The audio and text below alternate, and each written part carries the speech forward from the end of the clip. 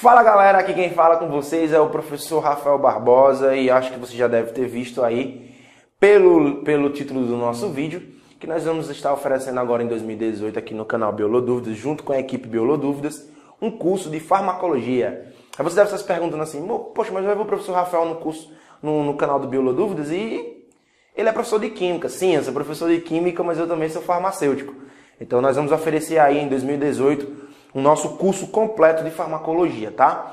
Aqui na descrição do vídeo você vai ver que o nosso, nosso curso ele é composto de 20 aulas, onde nós vamos abordar desde as noções básicas de farmacologia, que é a nossa primeira aula, até a aula 20, que são os fármacos relacionados aí a drogas de abuso, beleza? Então, o mais interessante é que você assista essa aula até o final, porque essa aula vai te dar embasamento para as demais aulas do nosso curso. O outro ponto é, tá vendo aqui nesse cantinho, ó? Deixa seu like. Se você não deixar o seu like aqui nesse vídeo, como em todos os vídeos do canal Biolodúvidas, o canal não vai para frente e aí a gente vai a gente vai ter que fechar o canal, né? Se for desse jeito. Então, por favor, deixa seu like aqui. É interessante que você tenha em mãos um caderninho, você tem em mãos um, uma caneta, um lápis, para você ir rabiscando ali informações que eu vou falando e você vai acompanhando junto no slide. Beleza? Então, na descrição aí, não esquece, tem todo o cronograma do nosso curso, com todas as aulas, tá? Segue o Instagram do canal Biolodúvidas. Patrick, Patrick vai deixar o link aqui embaixo também do meu Instagram. Caso haja alguma dúvida na nossa aula, coloca a dúvida aí nos comentários que em questão de horas a gente está respondendo para vocês, beleza? Então, uma boa aula, vem com a gente e foi boa.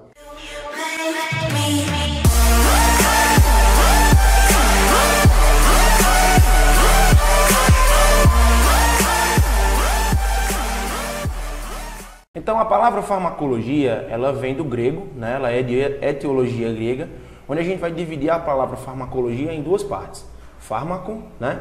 e logos. Nesse caso, o fármaco está relacionado à droga e logos ao estudo. Então, a farmacologia ela vai se deter ao estudo dessas drogas, desde dois ambientes importantes que você precisa saber.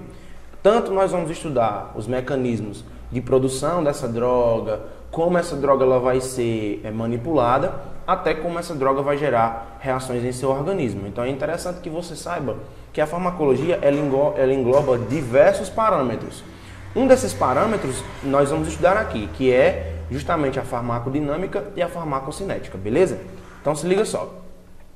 A farmacologia ela vem sendo estudada é, a partir do momento em que o ser humano ele desejou ingerir determinadas substâncias, né, para que pudesse tratar as suas doenças, tratar os seus problemas. Então, o médico canadense William Osley ele utiliza a seguinte frase: o desejo de ingerir medicamentos é a principal característica que distingue homens dos animais. Porque os homens, quando eles estão doentes, né, os seres humanos, quando eles estão doentes, eles vão necessitar ingerir algum medicamento para que esse medicamento ele possa sanar o seu problema de saúde, beleza?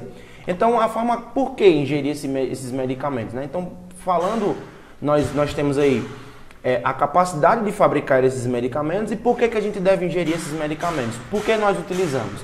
Primeiro passo é melhorar nossa qualidade de vida. Então, a utilização de medicamentos vem aí para melhorar a qualidade de vida do ser humano. E como é que a gente pode melhorar essa qualidade de vida? Os medicamentos, eles podem ter dois fins basicamente.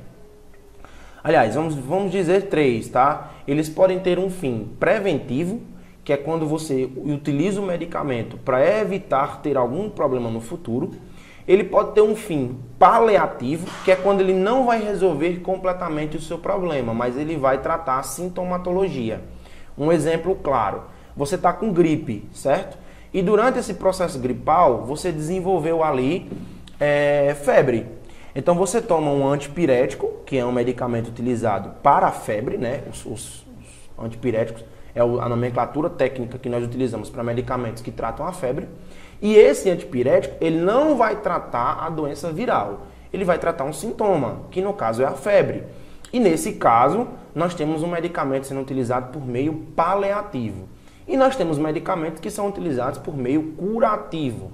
Então, essas três vertentes, os medicamentos eles podem ser utilizados para melhorar a qualidade de vida. Nunca esqueça, um meio preventivo, que é quando você utiliza o medicamento para prevenir que você tenha uma doença no futuro, um meio paliativo para tratar ali as sintomatologias e o terceiro meio, que é o meio curativo, que é quando você quer sanar totalmente aquele seu problema de saúde, beleza? Esse medicamento, ele vai aliviar, né, como eu falei, ele pode melhorar sua qualidade de vida como meio preventivo, ele pode aliviar uma possível ou abolir uma dor, que nesse caso são os meios paliativos e curativos, e eles podem prolongar a sua vida. Por exemplo, existem alguns tipos de medicamentos que eles são utilizados justamente para que você tenha uma durabilidade, né, tenha, uma, tenha uma vida mais duradoura, que eles vão proporcionar a você determinadas características que são importantes para você conseguir é, ter um prolongamento de vida. Por exemplo, os pacientes que, tão, que são acometidos, que são HIV positivos, por exemplo, eles utilizam os coquetéis não para fins curativos e nem para fins paliativos, porque eles não estão desenvolvendo nenhum tipo de dor, além não tipo de dor não, né? Dor em específico é um sintoma, mas eles não estão desenvolvendo nenhum tipo de doença que cause uma sintomatologia específica. Então eles utilizam os coquetéis, né, que são um conjunto de medicamentos utilizados para tratar aquela doença, de maneira que prolongue a, a vida desse paciente. Então você acaba utilizando o coquetel para prolongar o tempo de vida desse paciente mas ele ali não tem nenhum fim diretamente curativo, porque não vai curar a doença. E nem paliativo, porque não vai tratar nenhum sintoma específico, beleza? Que isso fique claro na cabeça de vocês. Só que os medicamentos, eles também têm, têm alguns problemas. Nem sempre eles vão gerar o, resu o resultado desejado. E aí a gente vai ver que existem duas vertentes diferentes. Existe a vertente da homeopatia e existe a vertente da alopatia, que é o medicamento homeopático e o medicamento alopático. Tio Rafa, qual é a diferença desses dois? O medicamento homeopático, ele trata um desequilíbrio geral. Então, por exemplo, quando a homeopatia ela vai estudar uma doença em específico, uma dor de cabeça, vamos lá, uma dor de cabeça, ela vai verificar qual é a gênese dessa dor de cabeça. Ela vai verificar qual é a real intencionalidade daquele sintoma. Por que, que você desenvolveu a dor de cabeça? Então ela vai tratar aquilo de uma maneira geral. Tá? Ela vai conseguir, ela, ela tende a procurar a gênese do problema e fazer com que você se trate. Já os medicamentos alopáticos, que são os medicamentos industrializados, eles vão tratar sintomas específicos. Por exemplo, estou com dor de cabeça, então vou utilizar um medicamento para cefaleia. Pronto. Esse medicamento para cefaleia, ele pode não gerar o resultado desejado, ou então ele pode agravar outros tipos de doenças. Como assim, tio Rafos? Vamos lá. Se você é uma pessoa que na sua casa, sempre que você sente uma dor de cabeça, tu toma um paracetamol, possivelmente com o uso prolongado desse medicamento, você vai desenvolver algum tipo de problema gástrico. Justamente porque os AINES, que são os anti-inflamatórios não esteroidais, eles são medicamentos que, quando utilizados para esses fins, né, de dor, por serem anti-inflamatórios, e também por algum deles, alguns deles terem, terem características especiais ali de aliviar a dor rapidamente, esses medicamentos eles causam desconforto gástrico se utilizados de maneira, de maneira muito é, contínua, né? Se você usar sempre, esses medicamentos eles podem gerar um problema gástrico. Já os medicamentos homeopáticos, eles não seguem esse princípio, tá? Eles vão perceber qual é a gênese da sua dor, enfim, vai descobrir ali como é que você, qual, qual, qual o desequilíbrio que você tem que gerou aquela sintomatologia específica, beleza? Muitas vezes os medicamentos eles só alcançam um alívio ou consolo do paciente. Tem pacientes terminais em hospitais que alguns profissionais de saúde eles sabem disso, que nós utilizamos o tramal, o tramadol, ou que nós podemos utilizar a própria morfina, que são medicamentos que nesse caso, né, eles, eles são eles não são eles são caracterizados como é, eles são têm atividade analgésica, claro, mas eles têm uma atividade mais específica na anestesia, né? Eles são não são anestésicos gerais, mas alguns em algumas doses sim, digamos assim, né? Mas eles são medicamentos que vão gerar uma anestesia, que vão livrar o paciente daquela dor, mas é somente para aliviar aquele problema que está muito grave e tudo mais. Não é um medicamento que vai, vai ser utilizado para fins tratativos, beleza? Do ponto de vista histórico, existem relatos muito antigos sobre o uso de drogas no tratamento de enfermidades. Então aí nós temos, durante muitos anos, a procura do ser humano por diversos, por diversos produtos, né, diversas substâncias que pudessem aliviar os problemas em questão. Vale salientar também que boa parte dos medicamentos que nós temos hoje na alopatia, eles são provindos também de estudos indígenas, tá? de, de comunidades indígenas, que essas comunidades indígenas, por sua vez, utilizam né, ali animais, algumas substâncias provindas de animais, algumas substâncias provindas de plantas, justamente para tratar determinados problemas em específico.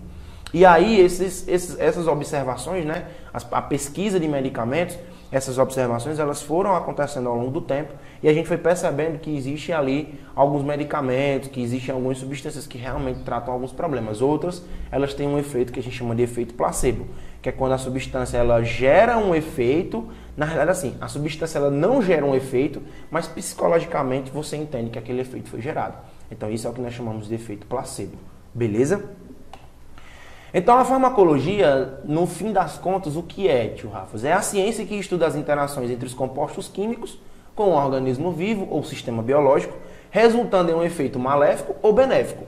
Vale salientar o seguinte: o efeito maléfico de um medicamento nós denominamos de efeito tóxico. O efeito benéfico nós denominamos de medicamento. Porém, eu peço que você vá com calma aí em uma parte. Se você for olhar algumas resoluções da Anvisa, por exemplo, a, a própria portaria 344, que é a que fala dos controlados, né, dos medicamentos controlados.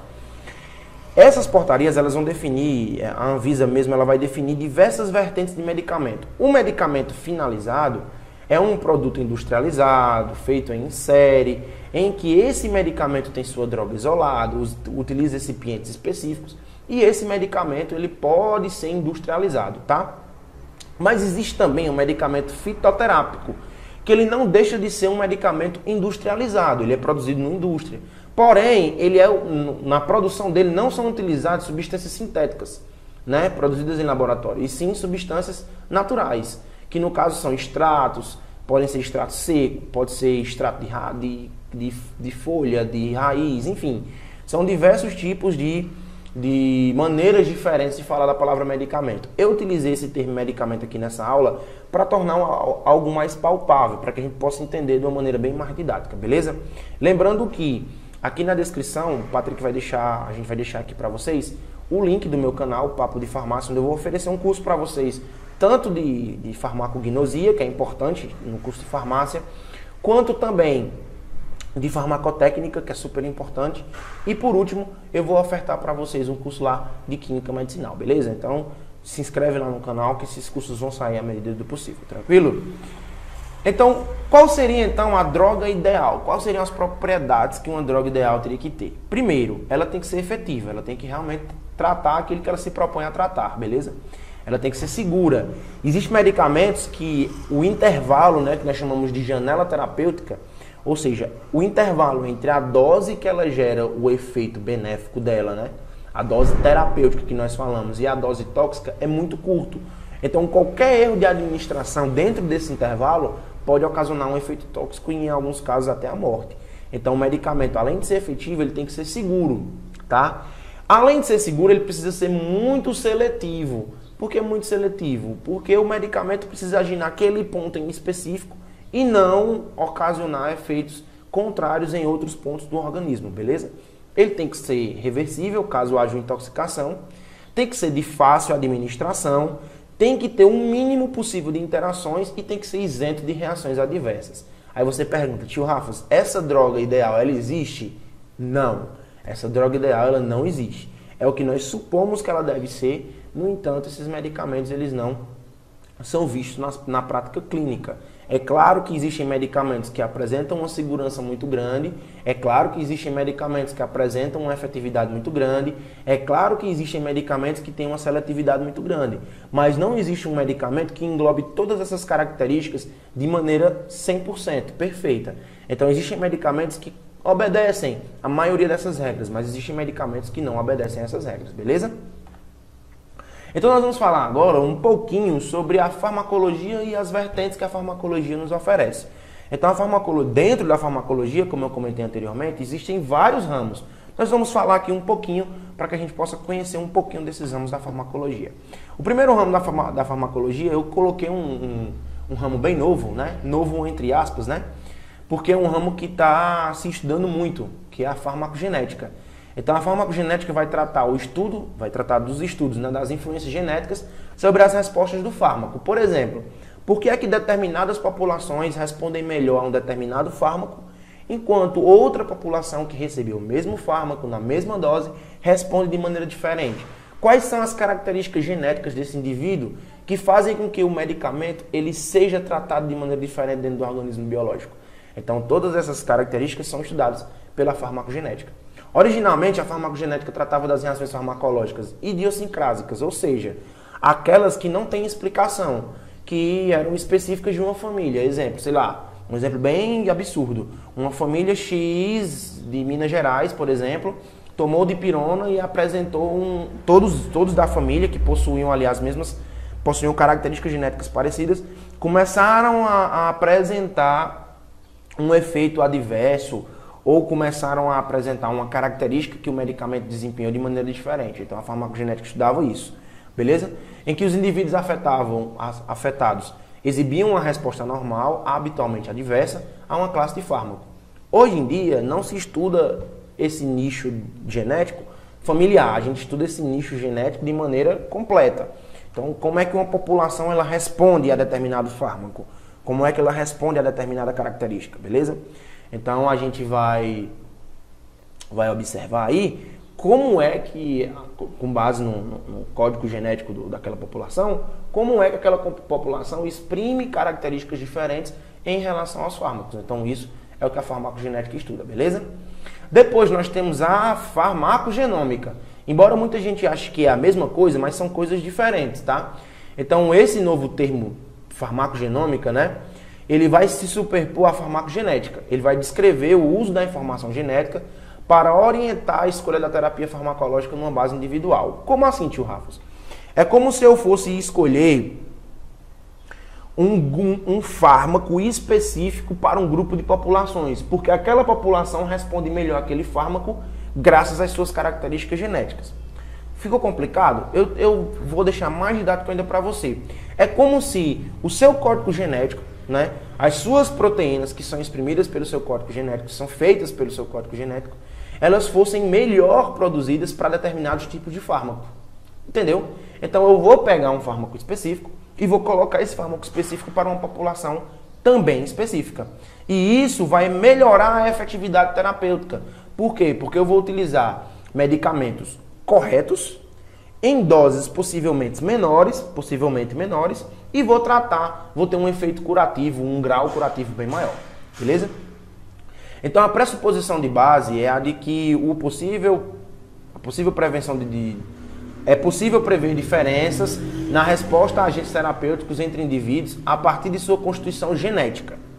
A partir desse princípio, a descoberta das variações gênicas específicas associadas a uma resposta terapêutica boa ou inadequada a determinado fármaco deverá permitir a individualização das escolhas terapêuticas com base no genótipo do indivíduo. Foi o que eu acabei de comentar. Então, determinado grupo de pessoas exprimem uma proteína que é importante na metabolização daquele medicamento e permite que aquele medicamento tenha uma efetividade maior, então eu vou individualizar aquele tratamento, fazendo com que a genética do indivíduo possa contribuir diretamente para o tratamento, para a efetividade terapêutica dele. Beleza?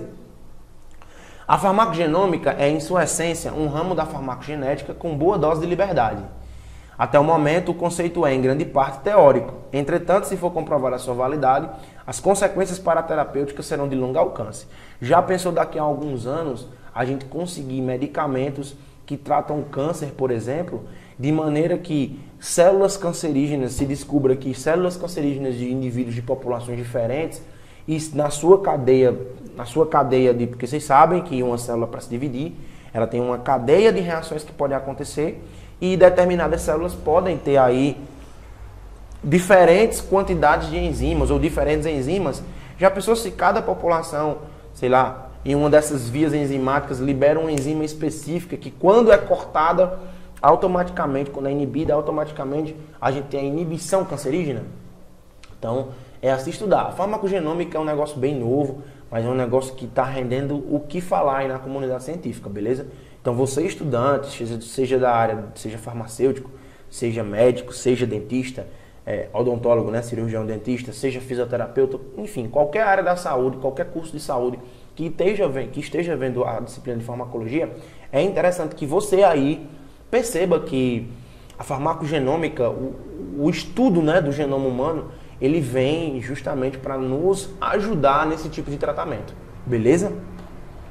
A farmacoepidemiologia, que essa é uma das áreas mais importantes também, assim como todas as outras, mas essa é interessante demais, porque ela vai tratar os estudos dos efeitos do fármaco em nível populacional. E isso é interessante porque ela vai, vai dar dois termos pra gente, incidência e prevalência. Que na faculdade, quando tu tá pagando estatística, é um negócio complicado, né? Porque a gente fica na, na, até hoje eu tenho dúvida do que é incidência do que é prevalência. Mas enfim, a farmacoepidemiologia ela vai, ela vai ser importante, por exemplo, nos estudos de fase 4. Vamos lá. Isso eu vou, vou, comentar mais detalhadamente numa próxima aula minha, tá bom? Que eu vou ter uma aula aqui no cronograma na descrição, tu vai ver que nós vamos ter uma aula sobre farmacovigilância. Nessa aula de farmacovigilância nós vamos tratar sobre as fases clínicas ou pré-clínicas de um fármaco, beleza? Mas olha só, esse tipo de medicamento, aliás, esse tipo de estudo da farmacologia, ele é importante por quê? Porque ele vai verificar em determinadas populações o que é que acontece em grau geral, quais são as reações adversas naquela população e vai contabilizar tudo isso. Por exemplo, você deve ter pego uma bula aí de um medicamento qualquer, não sei, vamos lá, é, dipirona. Se você pegar a dipirona, a dipirona ela vai ter lá diversas reações adversas, diversos efeitos colaterais, né, digamos assim. Um desses efeitos colaterais são discrasias sanguíneas, né, discrasias sanguíneas em geral aí você pode ter alguns problemas aí, anemia, alguns problemas de destruição de eritrócitos, enfim. E lá na bula, geralmente eles colocam tipo 3%, 1%, ou menor que 1%, menor que 0,5%. Aí você se pergunta, como esse dado foi possível? Porque os caras não testaram, né? Em todo mundo. Quando o medicamento ele é lançado no mercado, que a gente chama de estudo clínico de fase 4, quando ele é jogado no mercado, esse medicamento que é colocado no mercado, ele continua em estudo. Porque o cara vai continuar vendo o que é está acontecendo com aquele medicamento, que são as notificações. Por exemplo, um paciente lá na farmácia que eu trabalho apresentou um efeito adverso que não contém na bula, ou que contenha também, mas especialmente que não contém na bula. Então, eu faço um boletim informativo, esse boletim informativo é encaminhado ao órgão de fiscalização local, que no Brasil o caso é a Anvisa. A Anvisa transmite isso para o fabricante e o fabricante adiciona aquele efeito na bula. Claro que se você tiver uma reação também que não seja colocada em bula, aliás, que seja colocada em bula, você também transmite essa mesma notificação, porque aí a porcentagem vai aumentando ou diminuindo.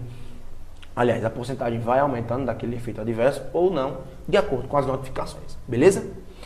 Então, constitui um tópico cada vez mais importante para as autoridades regulamentadoras que decidem se o novo fármaco pode ou não ser aprovado para uso terapêutico. Como eu falei, é, os estudos de comprovação de, de efetividade, de, de, funcionamento correto de um fármaco. A variabilidade entre os indivíduos ou populações tem um efeito adverso sobre a utilidade de um fármaco, embora seu nível de efeito médio possa ser satisfatório.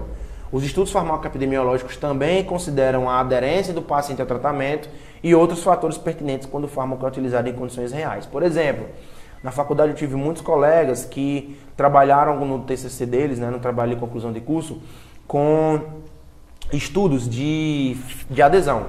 Então, tipo, o cara via, percebia qual era o grau de adesão de antibiótico terapia. Então, determinados pacientes não conseguiam, não gostavam de aderir a determinados fármacos, a determinada terapia, a determinado, determinado é, tratamento farmacoterapêutico, porque aquele tratamento dava a ele, né, ou, ou ele tinha, em decorrência desse tratamento, diversos efeitos adversos.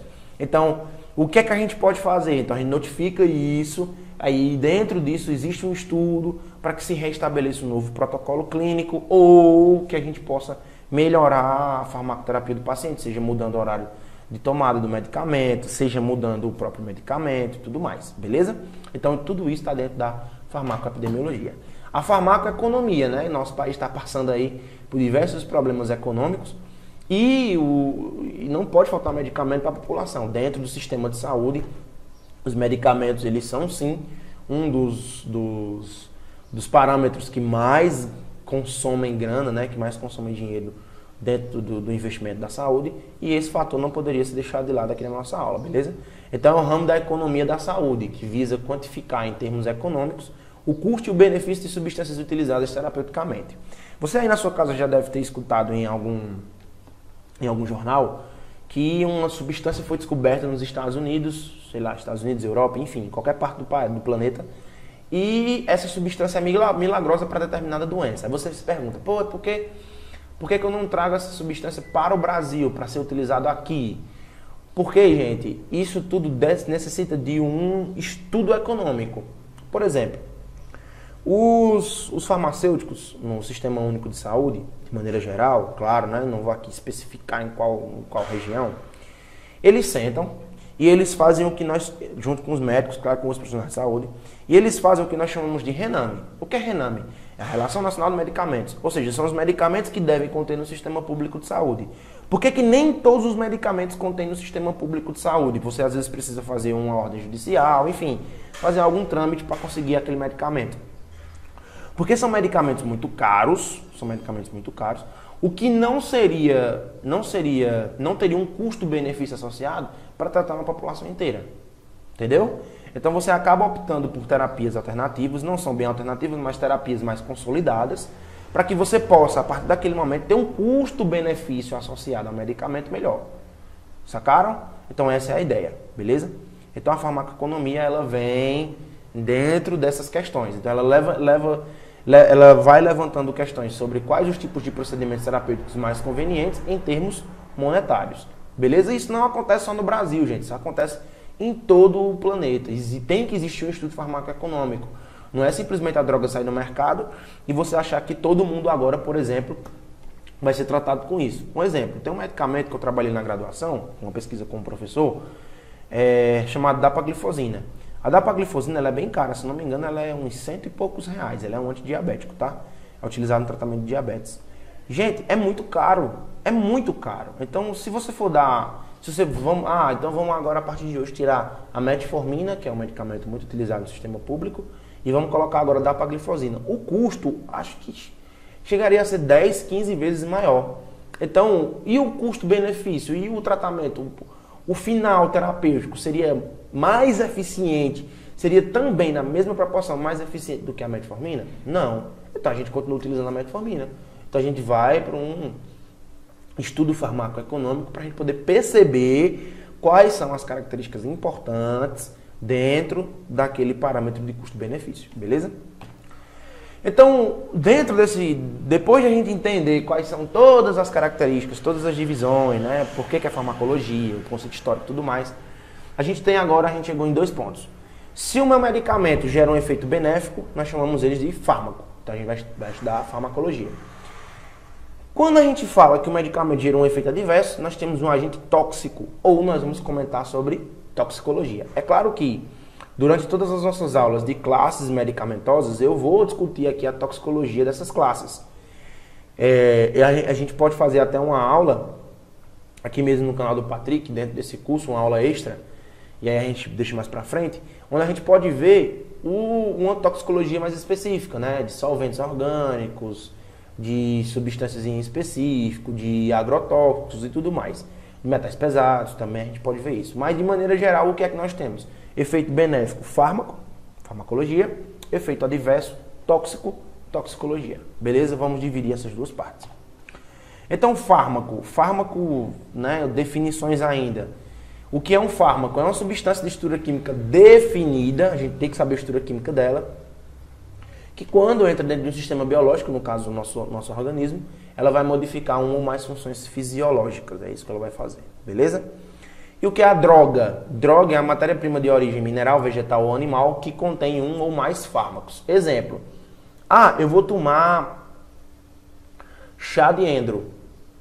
O endro em si, que é a planta, ele tem várias substâncias ali dentro, né?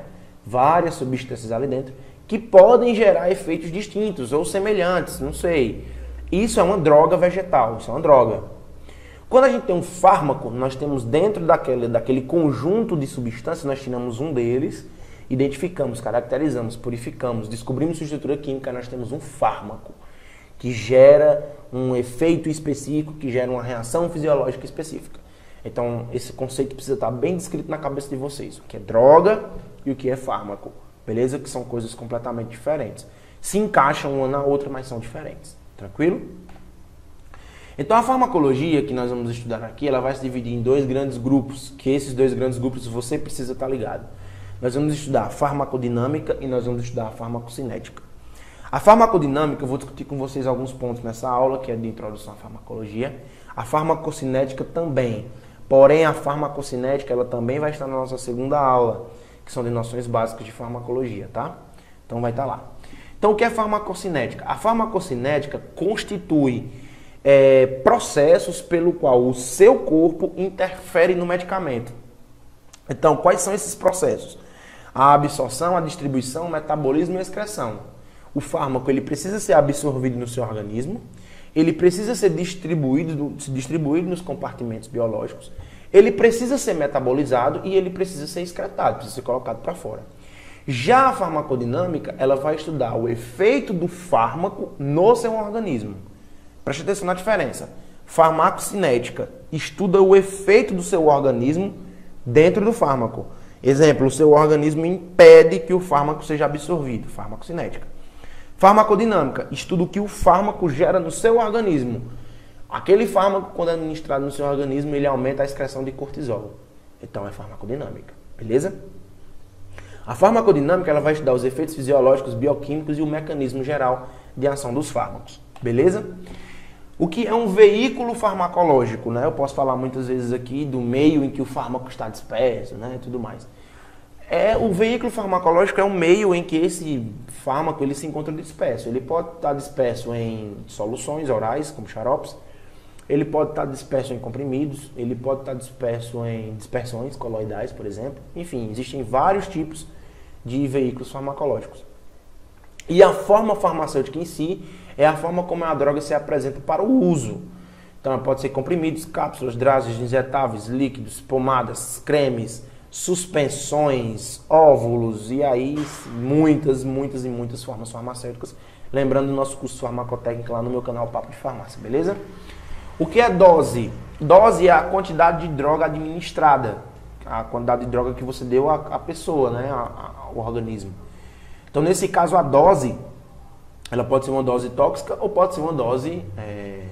Aí eu vou dar um conceito para vocês mais específico.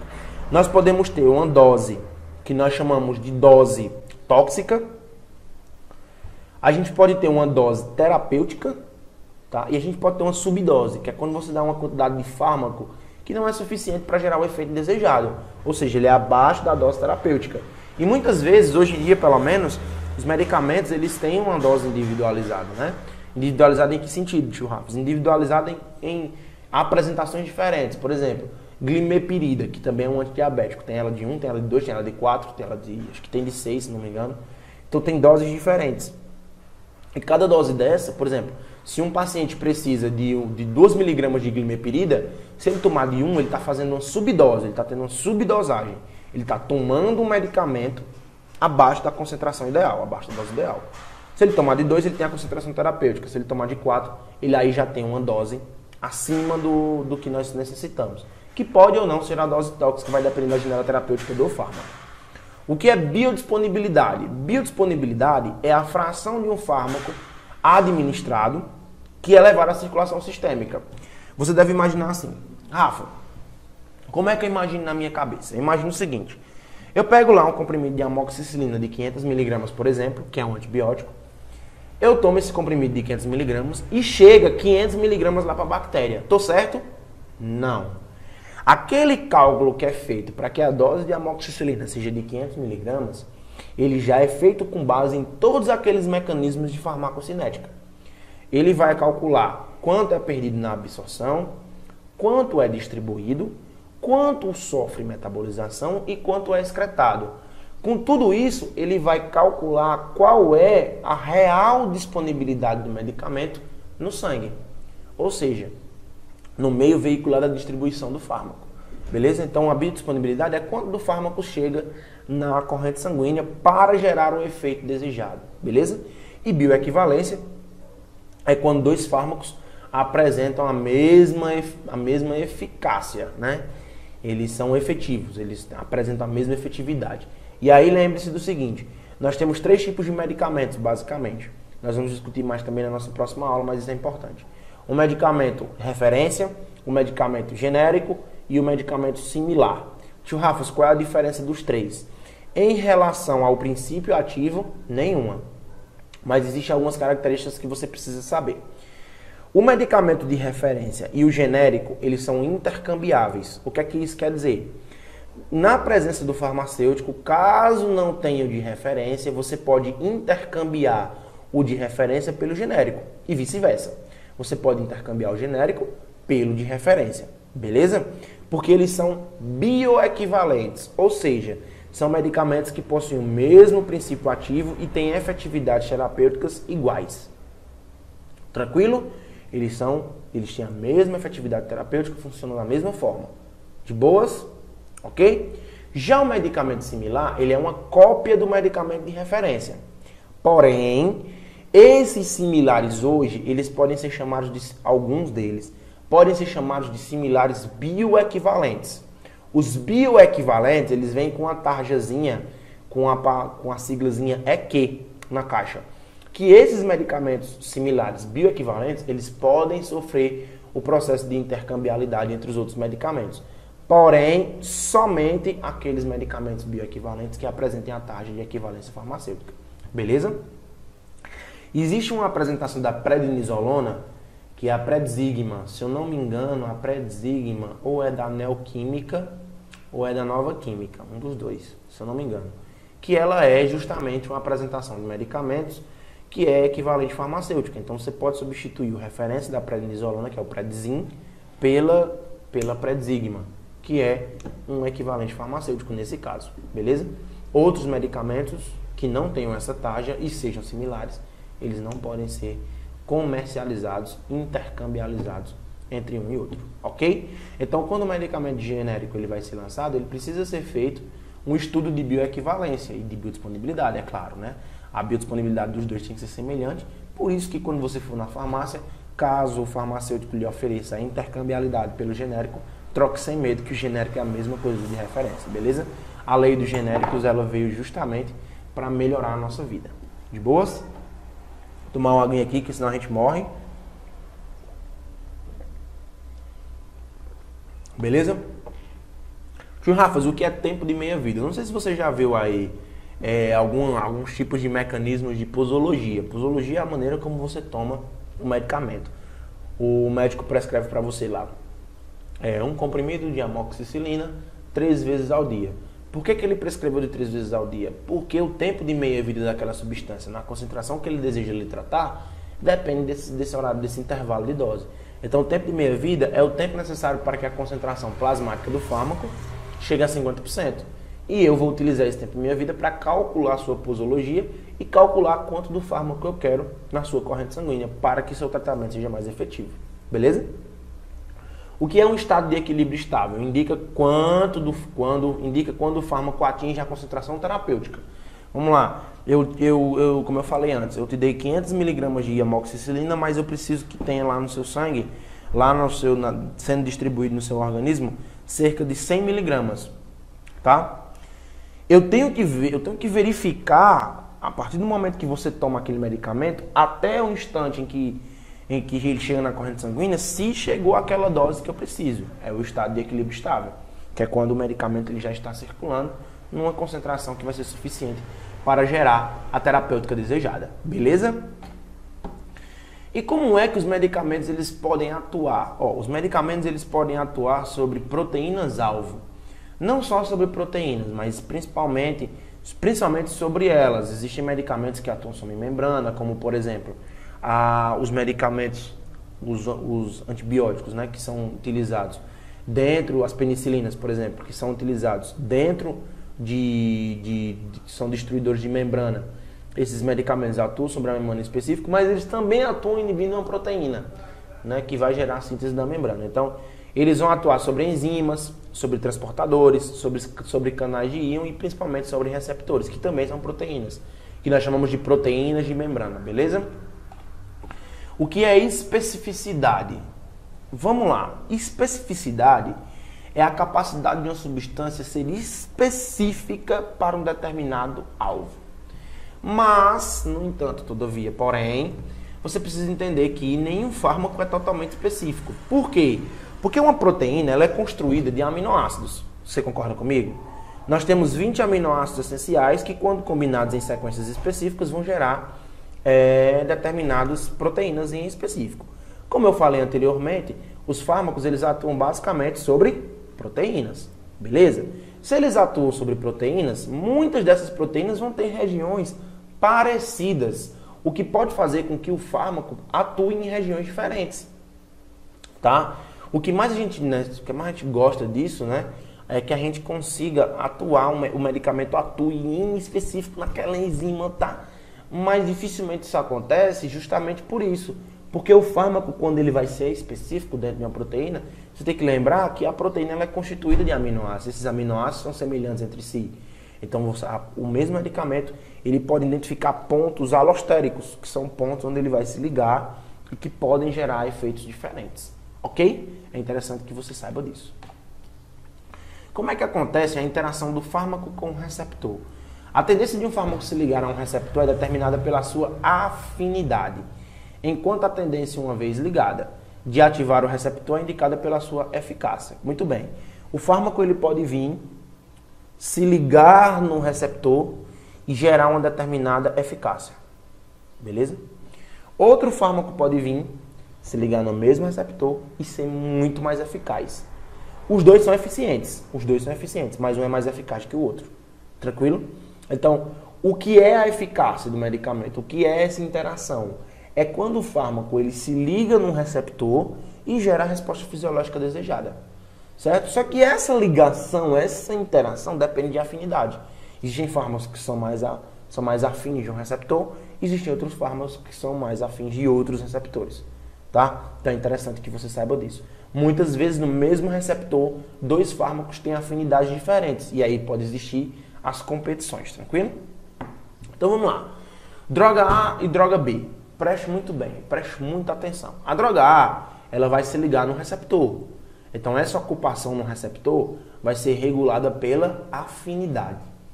Essa afinidade, por sua vez, vai gerar uma ativação que vai ser regulada pela eficácia. Muitos fármacos podem se ligar no receptor, ocupar o receptor e não gerar a mesma eficácia. Ter respostas diferentes.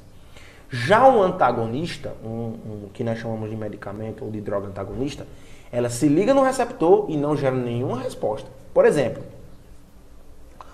vamos imaginar o seguinte: eu tenho um canal de cálcio, um canalzinho, uma proteína que é um canal de cálcio.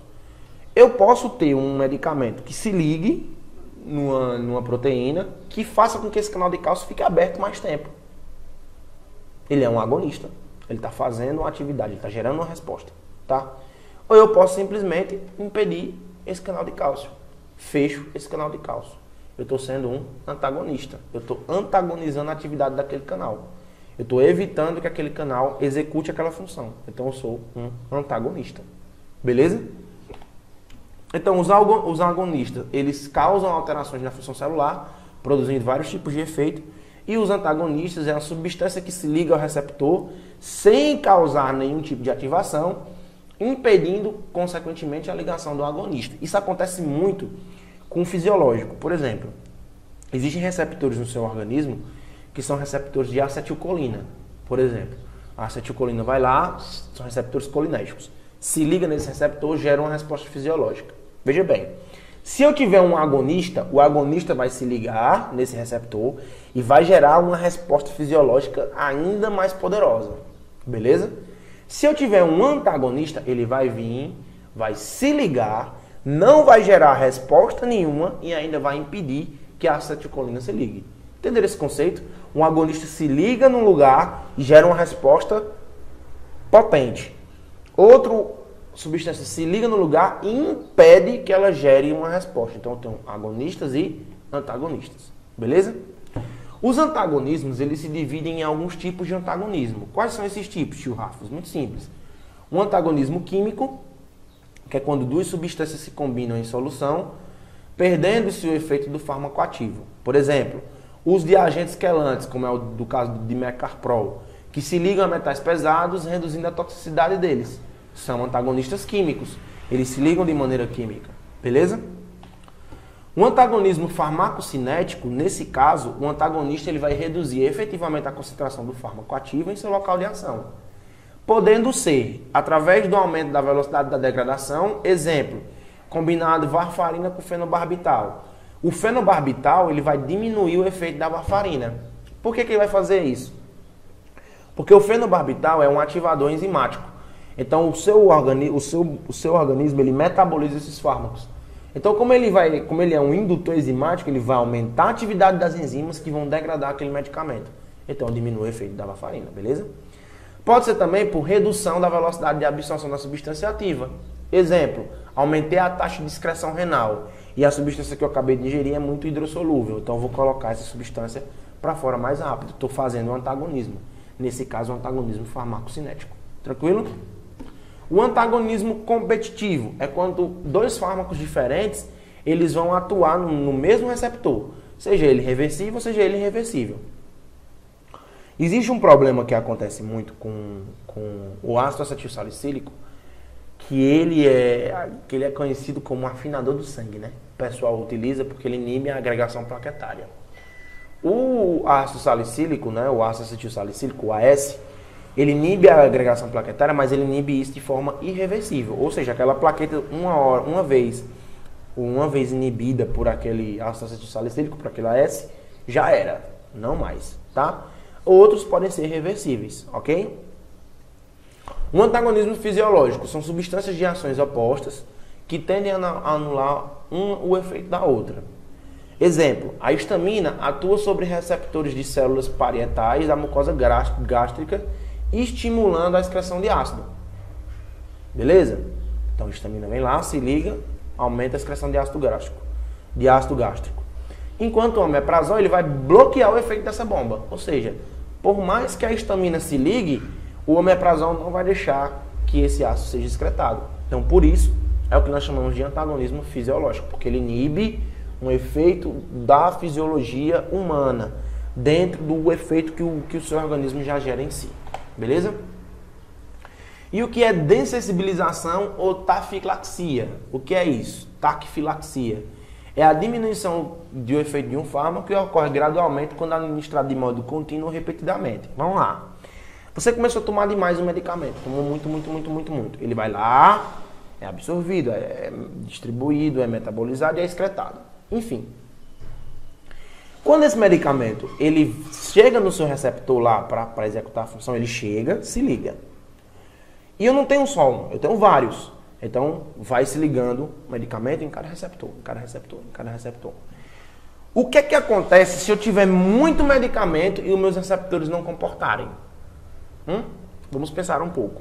Tenho muito medicamento e não tenho receptor suficiente. A minha célula vai entender que ela precisa de mais receptores. Então ela começa a colocar mais receptores para fora, para pegar aquele medicamento. E o que é que você vai precisar? Cada dia que passa, você vai precisar de doses mais altas. Por quê? Porque houve uma dessensibilização do receptor. Tá? Você agora não consegue mais estabelecer uma dose efetiva para cobrir todos aqueles receptores. Você precisa de uma dose maior, para que você possa ter um efeito maior dentro daquela, daquela, daquela célula. Porque ela colocou mais receptores para fora, ela produziu mais proteínas de membrana, que agora necessitam de mais fármacos, pra, de mais fármaco para gerar o efeito terapêutico. Entenderam isso? Tranquilo? Quais são os mecanismos envolvidos nessa dessensibilização? Alterações de receptores, né? Você pode perder receptores. A exposição prolongada reduz o número de receptores expressos na superfície Aumento do metabolismo da substância, substâncias como etanol e barbitúricos, quando administradas repetidamente, aparecem em concentrações plasmáticas reduzidas, né? Você começa a excretar mais, o metabolismo da substância é mais alto, então você vai excretando mais facilmente. E a exaustão de mediadores. A dessensibilização está associada à depressão de uma substância intermediária essencial. Exemplo, as anfetaminas, elas atuam através da liberação de aminas nas terminações nervosas. Portanto, apresentam elevada taquifilaxia ou dessensibilização devido à depressão da reserva dessas aminas. Simplesmente as aminas as, acabaram e eu não consigo mais atuar na mesma quantidade. Eu vou precisar de uma dose maior de medicamento para que elas possam ainda captar o máximo de aminas possível para que aí eu consiga um efeito terapêutico desejado. Beleza? A adaptação fisiológica. Pode ocorrer uma diminuição do efeito de um fármaco devido à sua, à sua anulação por uma resposta homeostática. Exemplo, redução dos efeitos colaterais como náuseas e sonolência de alguns fármacos quando se dá administração contínua. Ah, eu tomo hidroxizina para alergia sempre. Uma hora, se você toma direto, né, de forma contínua, uma hora, você não vai mais sentir sono, que é um efeito adverso relacionado a esse antihistamínico. Beleza? E o que é que a farmacocinética estuda? Né? Ela vai estudar quantitativamente a cronologia dos processos metabólicos da absorção, distribuição, biotransformação e eliminação. Então nós temos quatro processos: a absorção, distribuição, a biotransformação e a excreção. Existem dois modelos farmacocinéticos. O primeiro modelo é quando o corpo ele é imaginado como um compartimento onde a droga, a droga vai penetrar e onde ela é eliminada. O segundo compartimento é o corpo formado por dois compartimentos, um compartimento central, representado pelo sangue, e o periférico, que é representado pelos tecidos. Esse conteúdo ele vai ser abordado de maneira mais específica na nossa próxima aula. Eu espero que você tenha gostado desse conteúdo, espero que você tenha se dado muito bem com a aula, eu espero sinceramente que o seu aprendizado seja bem melhorado, beleza? Então, próxima aula, estamos juntos e até lá!